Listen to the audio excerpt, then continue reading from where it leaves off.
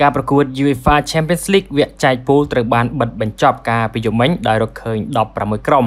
ដែលនឹងឡើងទៅកាន់វគ្គ Knock-out ភេសជ្ជៈបើកម្លាំងគ្រុតទទួលយកធមពលជាមួយគ្រុតសេវីយ៉ាជាក្រុមអេស្ប៉ាញតែមួយគត់ដែលបានជ្រុះចេញពីពានអឺរ៉ុបក្រោយបញ្ចប់នៅបាតារាងក្នុងពូលរបស់ពួកគេប៉ុន្តែ Real Madrid, Barcelona, Atletico Madrid និង Real Sociedad ធ្វើបានយ៉ាងល្អ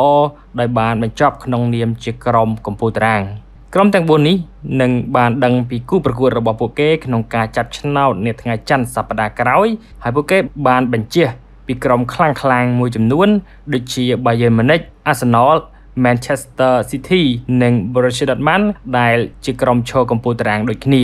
រីអាម៉ាឌ្រីតដែលជាក្រុមកំពូលតារាងនៃពូល C ទទួលបានជ័យជំនះទាំង6ប្រកួតនៅក្នុងពូលមាន18ពិន្ទុពេញពួកគេអាចជួបនឹង Paris Saint-Germain, Inter Milan, Lazio, Porto, RB Leipzig, Copenhagen ឬ PSV Eindhoven ក្នុងការចាប់ឆ្នោតវគ្គ16ក្រុមចុងក្រោយបាសេឡូណានៅតែអាចធានាតំណែងកំពូលតារាងនៃ Pool H បើទោះបីជាបរាជ័យទល់នឹង Royal Antwerp កាលពីយប់មិញ ដោយទទួលបាន12ពិន្ទុពីជ័យជំនះ4លើកផ្សេងទៀតហើយក្រុមរបស់លោក Xavi Hernandez អាចនឹងប៉ះ PSG, Inter Milan, Lazio, Napoli, RB Leipzig, Copenhagen ឬ PSV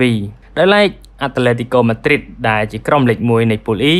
ដោយមិនស្គាល់ពាក្យថាចាញ់ពលក្រុមរបស់លោក Diego Simeone ទទួលបានជ័យជំនះ4លើក និងស្មើ2ប្រកួត ហើយអាចជួបជាមួយនឹង PSG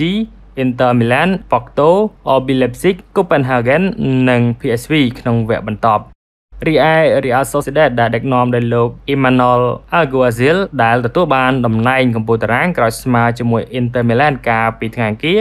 និងប្រឈមក្រុមលេខ2នៃពូផ្សេងក្នុងការចាប់ឆ្នោតវគ្គ16ក្រុមចុងក្រោយដែលរួមមាន PSG, Lazio, Porto, Napoli, RB Leipzig, Copenhagen និង PSV ភេសជ្ជៈបើកម្លាំងគ្រុតទទួលយកធមពលជាមួយគ្រុត